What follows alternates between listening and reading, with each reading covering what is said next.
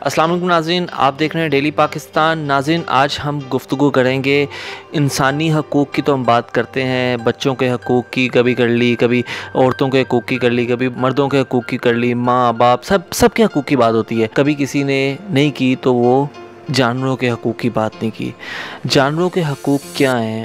ان کو اس طرح ہم ٹریٹ کرتے ہیں، اپنے گھروں میں رکھتے ہیں یا ان کے لیے کوئی اسپیسیفک جگہ رکھی ہوئی ہے یا کچھ بھی، کوئی بھی قانون، کوئی بھی ان کے لیے کوئی حقوق ہیں کہ نہیں ہے میرے ساتھ موجود ہیں ایڈوکیٹ رضا نور، میں ان سے ڈسکس کروں گا اسی حوالے سے۔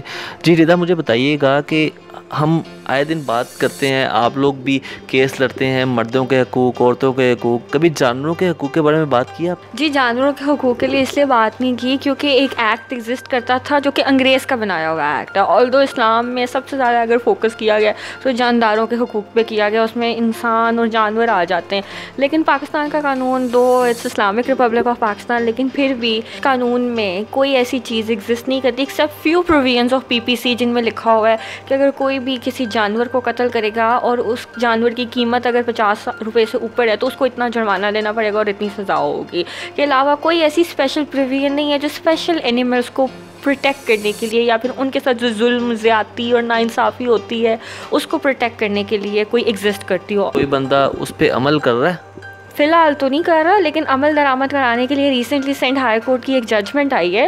وہ کہتی ہے کہ اس ایکٹ کو عمل درآمد کرنے کے لیے سندھ گورنمنٹ کو اسٹیپس لینے چاہیے اور کوئی ایسی سوسائٹی بنانی چاہیے۔ پہلے سوسائٹی تھی جانوروں کی پروٹیکشن کے لیے اسی ایکٹ کے انڈر بنی تھی۔ لیکن اس سوسائٹی نے پھر کام کرنا چھوڑ دیا ان آپریشنل ہوگی جس کی وجہ سے وہ سوسائٹی ایگزسٹ نہیں کرتی۔ تو سندھ ہائی یہ سوسائٹی کہاں بنائی تھی؟ جی یہ پاکستان کی پروونشل لیول پہ گورنمنٹ لیول پہ فیڈرل لیول پہ ایک سوسائٹی تھی جو کہ اوور لک کرتی تھی کہ کہاں کہاں اینیمل رائٹس کی انفرینچمنٹ ہو رہی ہے اور کہاں کہاں لیکن وہ سوسائٹی کام نہیں کر رہی تھی بالکل بھی تو انہوں نے بند کر دی۔ اب وہ سوسائٹی ایگزسٹ کر رہی ہے؟ نہیں بالکل بھی نہیں کر رہی۔ تو سندھ ہائی کورٹ نے ڈائریکشن دی ہے یا تو اس سوسائٹی کو دوبارہ آپریشنل کیا جائے یا پھر کسی اور این جی او کو اس سوسائٹی کا اسٹیٹس دیا جائے تاکہ اینیمل رائٹس کو کی پروٹیکشن کو اوور لک کیا جا سکے اور اس جو ایکٹ ہے اس کو امپلیمنٹ اس کو عمل درآمد کرایا جا سکے۔ تو اگر اب جیسے آپ بتا رہی ہیں کہ سندھ ہائی کورٹ نے ایکشن لیا ہے اس سے پہلے کسی کو دو ہزار نو میں آپ کہہ رہی ختم ہوئی ہے۔ دو ہزار نو سے دو ہزار اٹھارہ تک دو ہزار انیس بھی ختم ہونے والا ہے تقریباً ہاف ایئر ہو گیا ہوا ہے۔ تو تب تک کسی نے کوئی ایکشن نہیں لیا نہ کوئی نوٹس ہوا نہ کوئی سو موٹو ہوا۔ باقی تو ہر چیز پہ سو موٹو بھی ہوتا ہے ہر چیز پہ ایکشن بھی ہوتا ہے ہر چیز پہ ہوتا ہے۔ اس پہ کیوں نہیں ہوا؟ کیا جانور کو وہ حقوق نہیں ملنے چاہیے جو ان کے بنتے ہیں۔ دیکھیے، یہ بات آتی ہے تھرڈ جنریشن رائٹس کی، پوری دنیا میں پہلے جو ان سے ہیومن رائٹس پہ فوکس کیا جاتا ہے، اس کے بعد انوائرمنٹل اور اینیمل رائٹس پہ فوکس کیا جاتا ہے۔ تو فی الحال صرف پاکستان میں کیونکہ ہیومن رائٹس کی سچویشنس کو کاؤنٹر کیا جا رہا ہے، اس لیے ابھی تک اینیمل رائٹس پہ کوئی آیا نہیں۔ لیکن جیسے جیسے اس طرح کے کیسز آتے ہیں، ہم نے دیکھا تھا کچھ سال پہلے الیکشنز ہوئے تھے، تو جانور کا ایک کیس آیا تھا کہ کسی ڈنکی کو بہت بری طرح سے انہوں نے ٹارچر کیا تھا۔ اور اسی طرح سندھ میں اس کا نوٹس اس لیے دیا گیا کہ سندھ میں بل ریسنگ اینیمل فائٹس بہت کامن ہے if compared with other provinces تو ہوا یہ تھا کہ سندھ میں انہوں نے اجازت مانگی تھی لوکل پولیس سے کہ ہمیں اجازت دی جائے کہ ہمیں یہاں پہ وہ جو گھوڑوں کی ریس ہوتی ہے اور اینیمل ٹارچر کی ریس ہوتی ہے، اس کو کرانا چاہتے ہیں۔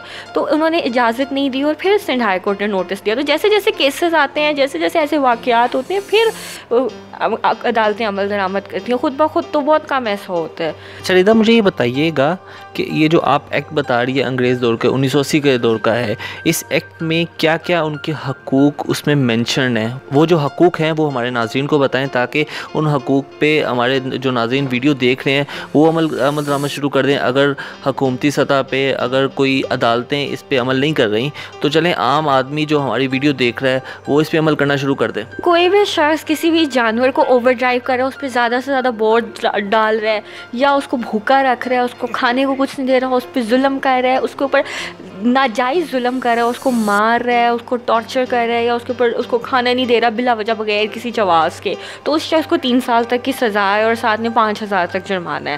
اسی طرح اگر کوئی شخص کو کوئی ایسا جانور خرید رہا ہے یا بیچ رہا ہے جو اس کو پتہ ہے کہ یہ کسی ظلم کہ اس اس جانور کے اوپر ظلم اٹھایا ہوا ہے یا وہ جانور زندہ ہے یا مردہ ہے، اگر کوئی بندہ قربان، کوئی مردہ جانور بھی خرید رہا ہے اور اس کو پتہ ہے کہ جو جانور وہ خرید رہا ہے، یہ کسی ظلم کے طریقے سے، کسی ان نیسیسری کرولٹی کے تھرو اس کو مار کے مارا گیا تو وہ اگر بیچ رہا ہے یا خرید رہا ہے، تو ان دونوں سچویشن میں وہ سزا کا حقدار ہے۔ تو اس چیز پہ بھی سزا ہے کہ آپ وہ جانور نہیں خرید سکتے جس کو ناجائز طریقے سے یا پھر غلط طریقے سے مار کے قتل کیا گیا ہو، یا پھر اس کو اس کے ساتھ اس کو بھوکا رکھا ہو، یا پھر اس طرح ساری چیزیں سزا کے زمرے میں آتی ہیں۔ اسی طرح بات آتی ہے کیریج آف اینیملز آپ ایک جانور کو دوسری جگہ پہ ایکسپورٹ امپورٹ یہاں پہ پاکستان میں تو بہت کامن ہے۔ یہ بھی ایک بہت بڑا آفینس ہے کہ آپ ان جانوروں کو ایک اس ایسے طریقے سے لے کے جاؤ جس طریقے میں لاڈ کے لے کے جاؤ گے جس طریقے سے ان کو پین ہو سفرنگ ہو سب سے بڑا یہ جرم ہے۔ اس کی تین سال سزا ہے کہ آپ ایک جانور کو اس طرح ایک شہر سے دوسرے شہر یا پھر ٹرانسپورٹ کرو کہ اس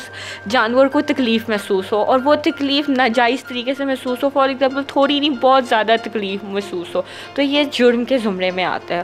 اور اس کو کاؤنٹر کرنے کے لیے آپ کو اریسٹ کیا جا سکتے ہیں اور مجسٹریٹ بھی خود بھی اس اوفینس کی کاگنیزنس لے سکتے ہیں نہیں اب یہ جو جانور کو تکلیف ہو رہی ہے اس کو دیکھنے والا تو اس کا مالک ہی ہے۔ اب جانور کے حقوق میں کون بولے گا؟ اس لیے کوئی کوئی بھی کوئی این جی او بول سکتی ہے کوئی این جی او مختص ہونی چاہیے۔ جی بالکل اسی لیے تو سوسائٹی بنی تھی۔ جب کام کرنا چھوڑ دیا یہ سوسائٹی کا کام تھا کہ اوور لک کرے کہ کیا جانور کا مالک اس کے خلاف ظلم تو نہیں کر رہا نا انصافی تو نہیں کر رہا۔ تو لیکن اب وہ سوسائٹی ایگزسٹ نہیں کرتی جس کی وجہ سے سارے کے سارے instances of animal cruelty goes unchecked چلیے امید کرتے ہیں سپریم کورٹ آف پاکستان سے اپنی حکومت حکومت وقت سے کہ یہ اس پہ ایکشن لیا جائے اور فوری طور پہ سپریم کورٹ آف پاکستان سے ریکویسٹ ہے کہ وہ سو موٹو لیں تاکہ یہ سوسائٹی دوبارہ اپنا کام شروع کر سکے۔ انسانوں کے حقوق پہ تو ہم بات کرتے کرتے رہتے ہیں اور ان اس کے لیے لڑتے بھی رہتے ہیں۔